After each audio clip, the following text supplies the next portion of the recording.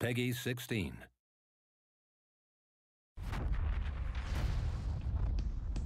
Hey everyone, my name is Daniel Wixton. I'm a senior game designer on Medal of Honor Warfighter here at Danger Close Studios.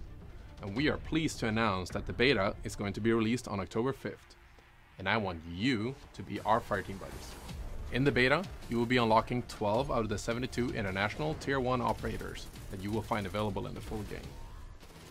You will be playing our brand new game mode called Hotspot, and this time it's set in Sarajevo, Bosnia.